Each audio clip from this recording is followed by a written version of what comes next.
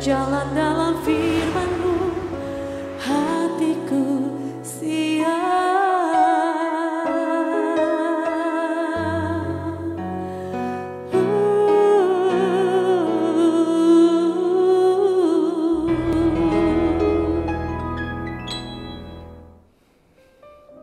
Salam, God lover yang dikasih oleh Tuhan Yesus. Senang berjumpa kembali dengan saudara dalam program God malam hari ini bersama Diaspora TV.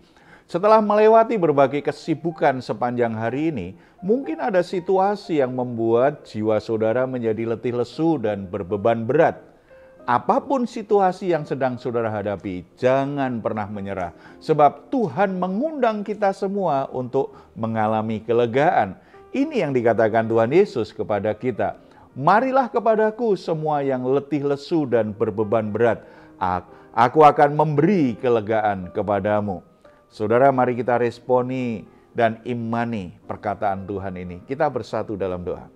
Bapak di surga kami bersyukur karena Tuhan selalu mengingat kami, selalu peduli dan selalu menginginkan kami mengalami anugerah-Mu. Bapak kami bersyukur karena penyertaan dan berkat-Mu sangat luar biasa sepanjang hari ini.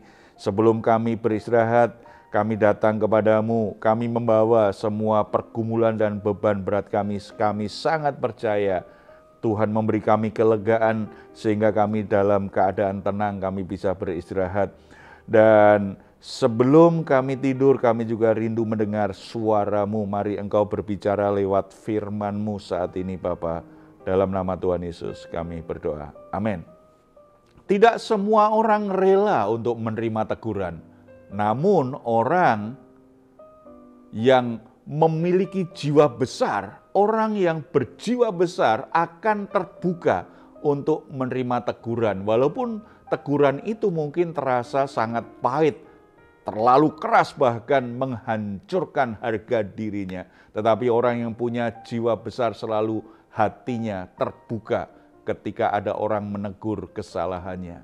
Salah satu orang yang rela untuk menerima teguran yang keras seperti itu, kalau di Alkitab ada satu tokoh namanya Daud. Walaupun Daud sudah menjadi raja, tapi ternyata dia tetap orang yang berjiwa besar, dia terima teguran yang diberikan kepadanya ketika dia jatuh dalam dosa. Perikop 2 Samuel pasal 12 ayat 1 sampai 25 memberikan gambaran seperti itu. Walaupun Daud ini seorang raja, memiliki kekuasaan yang sangat besar, memiliki kekayaan yang luar biasa, pengaruh yang luar biasa, tetapi ketika dia jatuh dalam dosa, dia melakukan kesalahan, kemudian Tuhan mengutus nabinya untuk menegur dia, hatinya sangat terbuka dengan teguran itu dan dia segera bertobat.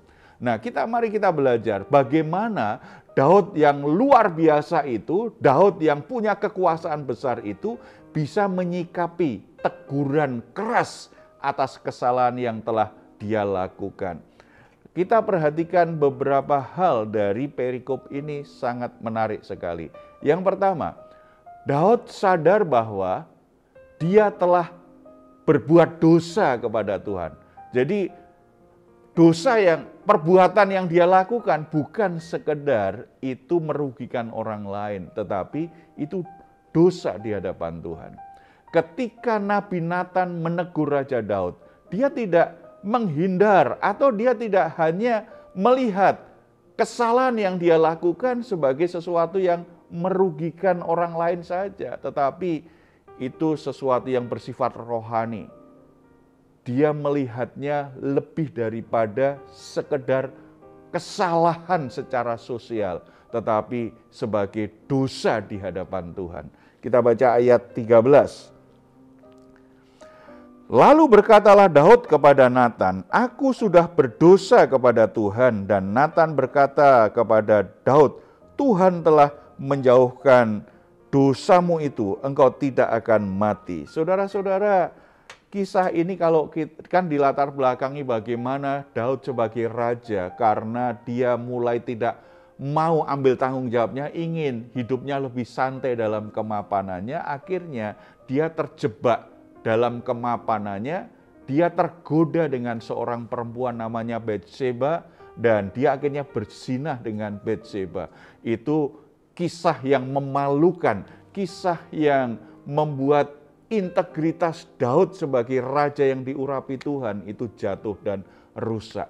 Makanya ketika Tuhan kemudian mengutus Nathan untuk menegur dia, di situlah terlihat inilah memang kehebatan Daud. Bukan karena dia mengalahkan Goliat, bukan karena seorang raja yang punya kekuasaan, bukan karena dia orang yang begitu pandai luar biasa, punya jiwa seni luar biasa, kehebatan Daud yang sesungguhnya adalah hatinya lembut untuk ditegur, hatinya mudah bertobat di hadapan Tuhan. Dosa bukanlah hanya bersangkut paut dengan apa yang kita lakukan kalau ini konteksnya kita. Bukan sekedar apa yang kita lakukan terhadap sesama, sesuatu yang salah. Tetapi jauh lebih fatal karena kita telah melakukan kesalahan kepada Allah dan ini merusak hubungan kita, persekutuan kita dengan Allah yang Maha Kudus.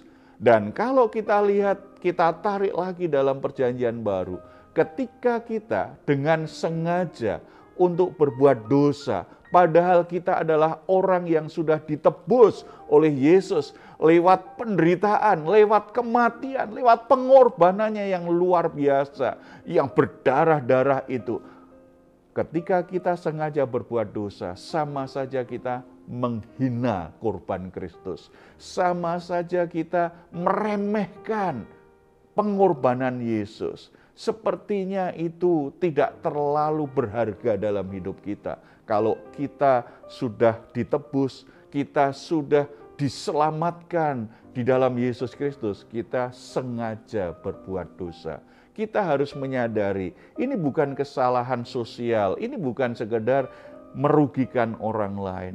Setiap perbuatan berdosa itu merusak persekutuan kita dengan Allah.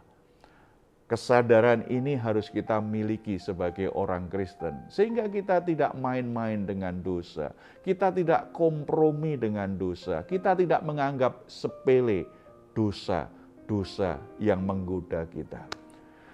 Sebab kalau dosa itu berkenaan dengan orang lain, hal itu akan lebih mudah untuk diselesaikan. Misalnya kita pinjam barang orang, lalu kita bilang segera di kita kembalikan ternyata karena oleh berbagai sebab kita tidak bisa mengembalikannya.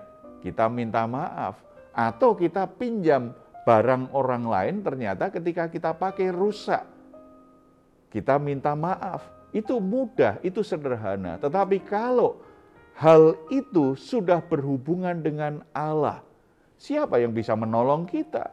Yesus sudah sekali mati di atas salib untuk selama-lamanya. Tidak ada korban lain olehnya kita bisa diampuni selain dari korban yang sempurna itu. Oleh sebab itu, hargai, hormati kekudusan Allah jangan sengaja berbuat dosa dan jangan juga mengeraskan hati ketika kita ditegur untuk membereskan dosa-dosa kita. Yang kedua, Daud ini tipe orang yang rendah hati ketika dia ditegur. Daud dengan rendah hati mau menerima teguran Nathan. Luar biasa. Ini ini bicara Daud ini memang lembut hati sekali ya tulus sekali dengan Tuhan. Cinta kasihnya kepada Tuhan itu luar biasa. Ketika dia sadar dia telah berbuat dosa kepada Allah lewat teguran Nathan itu.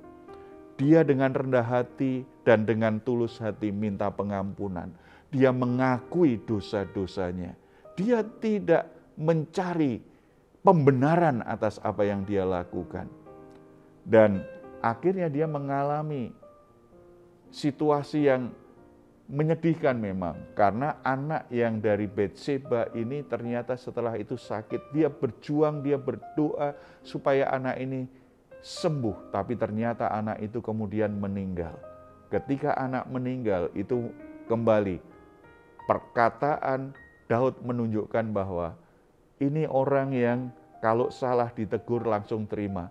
Kalau dia berdosa ditegur lewat firman Tuhan, lewat khotbah, lewat seseorang, lewat hamba Tuhan, dia langsung terbuka, rendah hati, dia mau segera mengakui dosanya dan bertobat, tinggalkan dosa, menerima apa pun yang terjadi sebagai konsekuensi dari perbuatan dosanya. Dia tidak mencari pembenaran ke sana kemari. Coba kita baca ayat 22 dan 23. Jawabnya, ini setelah anaknya yang sakit itu meninggal. Jawabnya, selagi anak itu hidup, aku berpuasa dan menangis karena pikirku, siapa tahu Tuhan mengasihani aku, sehingga anak itu tetap hidup. Tetapi sekarang ia sudah mati, mengapa aku harus berpuasa? Dapatkah aku mengembalikannya lagi? Aku yang akan pergi kepadanya, tetapi ia tidak akan kembali kepadaku. Ini sebuah kerelaan hati, karena aku sudah berdosa, dan aku sudah mengakui dosaku, Tuhan ternyata melepaskan aku dari berbagai konsekuensi yang buruk akibat dosaku. Kalau toh ternyata ada masalah lagi dan aku minta kesembuhan dari Tuhan, ternyata anakku ini meninggal. Sekarang aku berserah saja karena aku nggak layak minta lebih dari itu. Sebab dosa-dosaku yang begitu memalukan saja sudah diampuni oleh Tuhan. Dia tidak menyalahkan orang lain, dia tidak membenarkan atas kesalahan yang telah dia buat. Dia menerima konsekuensi dari perbuatan berdosa itu, dia menerima konsekuensi buruk dari apa yang terjadi. Hal itulah yang akhirnya membuat Daud dipulihkan Tuhan karena Daud selalu mengambil tanggung jawabnya. Dia bertobat, dia kembali ambil tanggung jawabnya. Termasuk perbuatan berdosa pun dia ambil tanggung jawabnya. Dia mengaku dosa dan tinggalkan dosa itu. Dampak dari itu dia serahkan kepada Tuhan. Seringkali saat ditegur kita ini suka berdalih.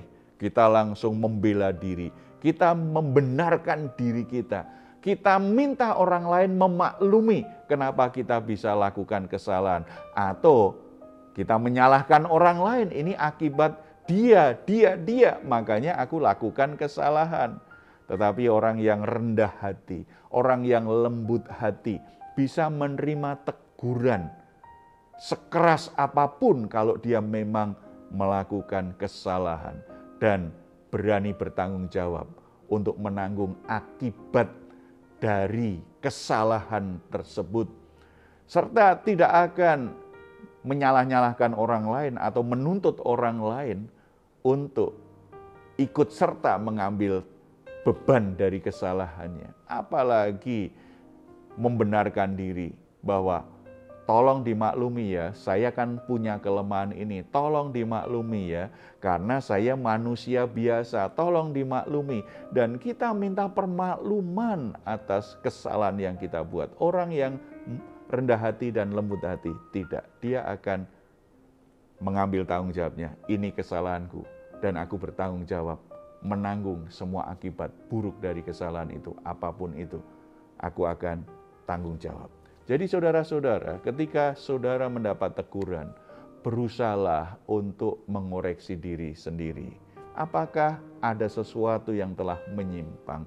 Apakah ada kekilafan yang kita lakukan? Apalagi apakah ada kesalahan yang kita sudah lakukan harus segera saya hentikan.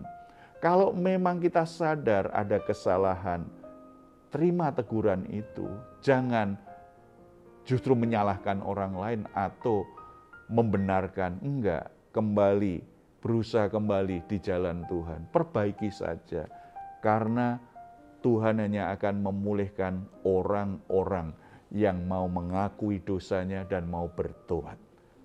Kalau saudara itu orangnya, maka apa pun yang sedang saudara alami, kerusakan apa pun yang sedang terjadi dalam hidup saudara, saudara akan dipulihkan oleh Tuhan. Kita bersatu dalam doa. Bapak di surga kami bersyukur karena firman-Mu sudah menegur kami sangat keras Seringkali kami membela diri, justru semakin mengeraskan hati ketika kami ditegur. Padahal jelas-jelas kami buat kesalahan. Tapi belajar dari Daud, biarlah kami juga belajar untuk lembut hati, rendah hati, mau mengakui kesalahan-kesalahan yang kami buat.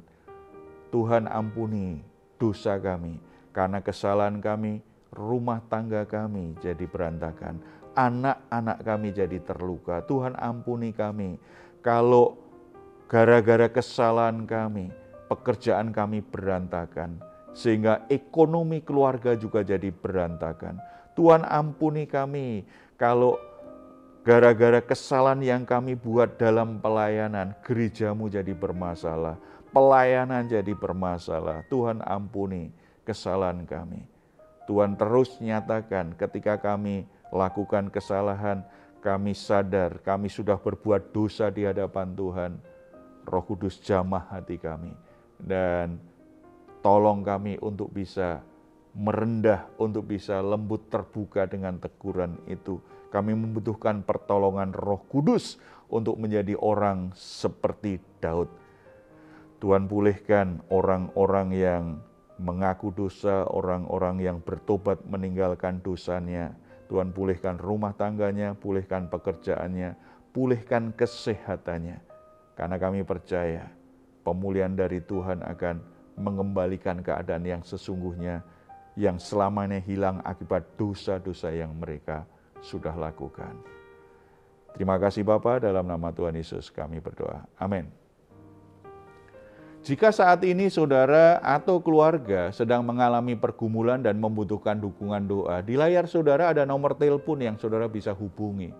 Tim doa kami akan mendukung saudara semua dalam doa. Silahkan jika saudara ingin memberikan komentar, tuliskan komentar saudara di ruang komentar yang ada di channel Diaspora TV. Baik saudara-saudara, sebelum kita berpisah, mari kita mengucapkan bersama-sama Mazmur 4 ayat 8 sampai 9. Engkau telah memberikan sukacita kepadaku lebih banyak daripada mereka ketika mereka kelimpahan gandum dan anggur.